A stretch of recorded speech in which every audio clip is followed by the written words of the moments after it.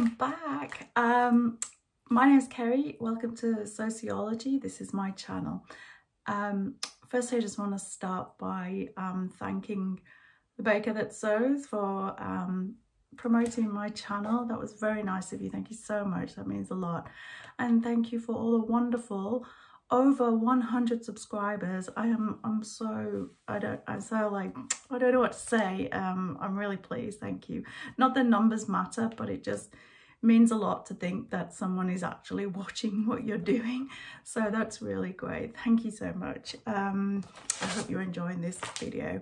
Um i've got my notes here because i just can't remember what i'm saying. So you might see i actually got round to um, making the Toronto Tee from Rebecca Page and the original one I did was um, the biggest size 5XL. It was way too big. Um, I'll put some pictures up here somewhere just to show you what that looked like. Um, this is the adapted version, so um, it's a lot better now. It fits a lot better. I'm quite happy with it. I I like it really long, so mine's a bit long, and I'll put pictures up of me um, in it too. Um, the pattern instructions are so easy to follow um, really easy simple good good um, yeah good um, instructions to follow. So if you're a beginner and you're getting used to stretch fabric I use an overlocker which I find is easier to sew stretchy fabrics. Um, haven't quite got the hang of sewing stretchy fabrics on a sewing machine yet um, yeah definitely use a overlocker if you have one that's really good um, yeah really easy no issues um, so this is just to remind you, I did talk about it in my other vlog. Um, I'll put the sizes up again, just, uh, just to remind people, um, if you haven't seen my first, was it first or second vlog I talked about it? I don't remember. um, yeah, so that's the other one. Uh, the other thing I wanted to talk about, um, I didn't have any issues with this, by the way, just apart from the size was massive, lots of ease. Um, I always go for the biggest size because I'm never quite confident that it's going to fit me. So I always go the biggest size um, because, you know, I am currently losing weight, but, um, you know, you've got to start making things that big just fit you. You know, you don't want to, you don't want to spend all that time making something that doesn't fit you. That, I do that a lot and it's very disheartening because you spend all this time making it and then it doesn't fit you. So um, I always go for the biggest size and then I can just scale down, which is what I did. So I'll, I'll show pictures of what it looked like before. My mock-up toile was just in a navy, so I'll show you that. I'll put that up there. Um, what else have I been doing? Um, my fabric arrived from eBay today, the one I'm making, the Whitney Rain jacket. It's gorgeous. Came with this Marimekko bag, free, because it's Marimekko fabric and this is the fabric so it's like um it's a they call it, it was down as a laminated polyester but um it's that's just the underside of it and this is just very crinkly sorry this is it here see that gorgeous pattern there beautiful 5.6 meters. So that will become my Whitney my Whitney rain jacket. Um, so you can't fold it back up now. Look how much there is of it. It's great. I can't wait. Um, I'm definitely going to do a mock-up first. I'm not going straight into um, uh, making that straight away. No. So that's my uh, Marimekko fabric. Um, what else have I been doing? Um, I did mean to get my uh, tunic finished. I still haven't finished it. Uh, all I have to do is the sleeve and um, the hems and that's it. So it's in the same state as vlog three. So nothing's changed. There's no point showing you. Um, I will get it finished though because I got distracted by the t-shirt because I've got bored and I wanted to make something else. Um, something else I got really bored with as well was um, Funny, I've got on my notes to show finished tunic, but it's not finished. Okay. um, what was I going to say? Oh, two new challenges I'm really excited about. So the first one is um, A Gift to November, which is run by Sew Like Dotty and... Uh, I say I can't remember. I'll put the name up here. It'll come to me. It'll come to me. I'm really sorry. Please don't hate me. Please don't unsubscribe. um, anyway, the gift to November. It's ma majority. What is that even a word? It's mostly UK, so the prizes are really good, but a lot of the prizes are UK based because of obviously postage restrictions sent abroad. I understand that. So my plans for gift for November. Um, I've been I made this uh, another Rebecca Page pattern called the Roxy wristlet. So it's just got this um, little wristlet with a little um, chain and um, clasp here. And then um, it's fully lined. It has a zip at the top. It's lined inside and it has an extra pocket here. Okay, so this is the fabric left over from the Sew up cycle shirt. Um, so I use that and this is an Arita Hanson fabric that was left over from a dress I made that no longer fits me. Um, yeah, so, and it's got some little cover ends at the zips here either side and um, the same here. Uh, it's quite a nice little project to make. Uh, have done a sew along. Um, if it works out, if it makes sense, I will put that up another time. But um, yeah, so that's a really nice one. And that's a free pattern. I think it's a free pattern. I'll check that. Um, from Rebecca Page patterns, same as the Toronto Tee. Okay, and the other things I was thinking of doing, um, I buy Mollie Makes, which is a British magazine if you're in Australia, but um, you used to be able to get it here from Coles supermarket, but can't seem to find it anymore. I don't know if they do it anymore and they all have the also usually have these free little gift patterns that you can make and I've had these for a while and I really wouldn't mind having a go. I really like um, hand sewing felt. Um, I think I showed you all my um, Christmas tree decorations in the first vlog I think. So um, that's just another little one to do. It's uh, yeah, it, it, came free with the magazine, but um, yeah, I was thinking of doing that. Um, also, my daughter really likes this. This is from a, a shop in Australia called Kmart. This is the Anko brand, and she loves dogs. So I was going to do a little cross-stitch doggy.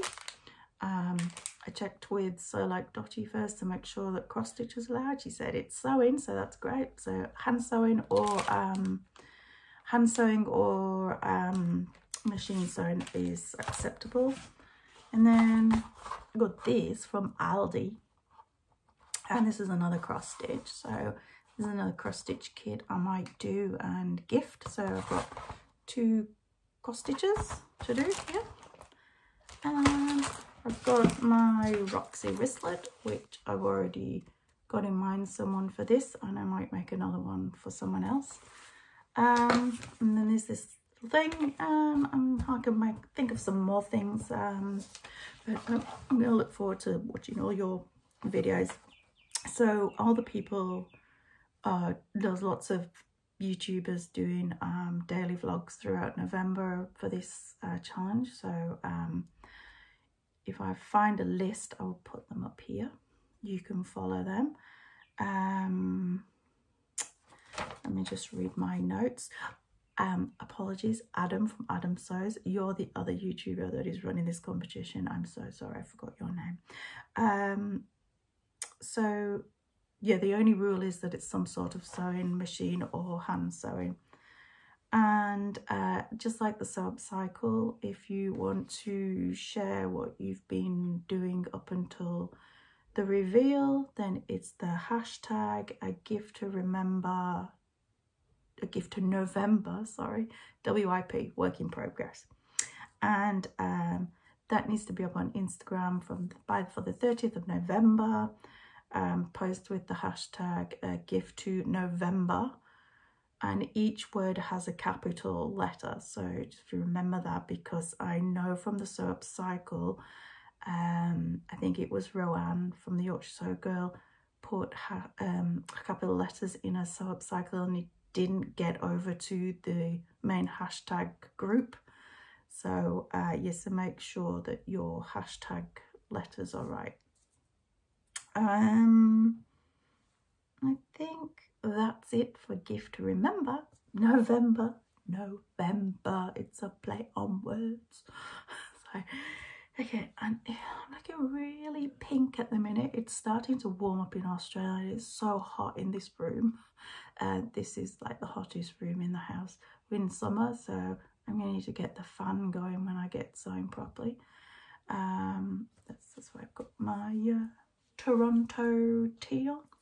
Anyway, um, okay, so the other challenge that I've been looking at is um, hashtag sew wrapped and um, this is run by Kristen, Kirsten, no, Kirsten from the um, Dahlia Sewciety and Gabrielle from Cloth Edit. And this challenge runs from 29th of October to the 27th of November, um, Australian Eastern Time. Um, if I can convert the times, I'll put that on the screen for UK.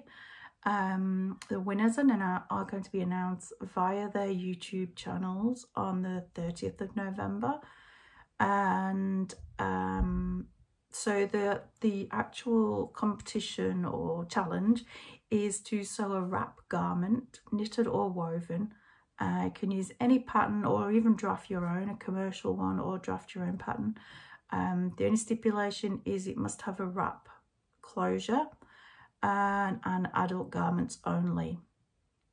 Um, when you um, hashtag the your product again you can do hashtag sew wrapped WIP for work in progress but on the 30th of sorry the 27th of November it will be the hashtag sew wrapped and um, the stipulation is also that you don't tag old posts so no post prior to the 29th of October, I think that's right. Um, they must be new makes, newish makes. Um, so I'll show you what I'm thinking. So I'm thinking of um, this lovely Butterick um, dress. It does have a, a, a, kind of wrap over enclosure here, which I quite like. Um, so it does have a wrap um, I'm probably more likely to wear it. Um, there are different views on the back, so you can have it um, sleeveless. Um, not sure the differences with that one. Oh, this is just a bit longer. And, and then just with these nice flary sleeves here that you can see the model wearing here, which is quite nice. I quite like this length, but with these sleeves, because I don't really like having my arms out because, you know, bingo wings. Uh, so, yeah, I quite like this. It's a really nice pattern and it goes up to a 22. And this was a free pattern from Love Sewing magazine. So, I've got to use the patterns you get. I've got hundreds of them now um yeah so this is just another pattern i'm looking at i'm getting redder and redder uh yeah so this is sorry this is Butterick b6446 and yeah i'm gonna have a go at that for that challenge um i haven't thought what fabric i'm going to use yet but it might be a kind of either a cotton based or maybe a viscose kind of base. I'm not sure yet. Uh, let me know what you think would be nice for that. Let's have a look what it suggests. So the fabrics it suggests cotton blends, linen, challis, gingham. Gingham would be very nice. Satin, oof, no. Unsuitable for obvious diagonals. So um, yeah, uh, I love gingham at the minute, so I might find some gingham and do that so that would be nice so um, that is what i'm doing so far i'm looking at my notes is there anything else to say i've spoken about the Toronto Tee um gift to november Sew wrapped um my beautiful fabric from eBay and the tunic is not finished. Actually, I just had another look at it and um, I've lost the actual band that goes on the other side. So if I can't find it, I'm to have to find that fabric and in my scraps and see if I can cut another one and sew it on because it looks silly on with just one done. And um, I don't like it without it looks weird. So um, yeah so I'm gonna have to look for that and that'll be up in the next one. Or maybe it'll be an add-on to this video if I find it and finish it by the time this gets edited and sent out. So uh yeah so that's what I've been up to so far. I'm sure I've missed something out um, thank you so much again to everyone who have subscribed. I am so over moon, over the moon.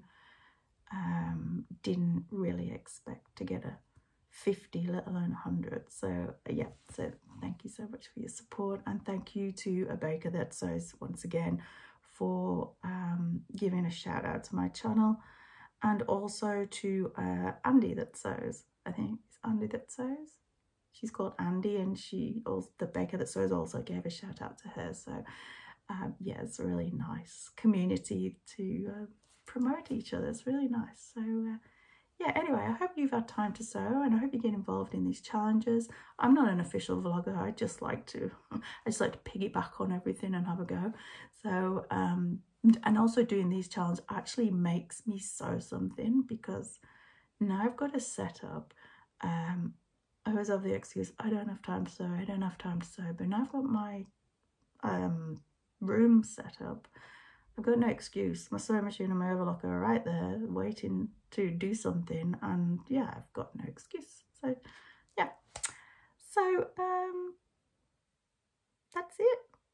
Um, appreciate all your comments you put down below. Thank you for commenting, liking and subscribing and, and please feel free to share and uh, till the next one happy sewing and happy challenge and I'll look forward again to seeing all the Instagram WIPs thank you. Bye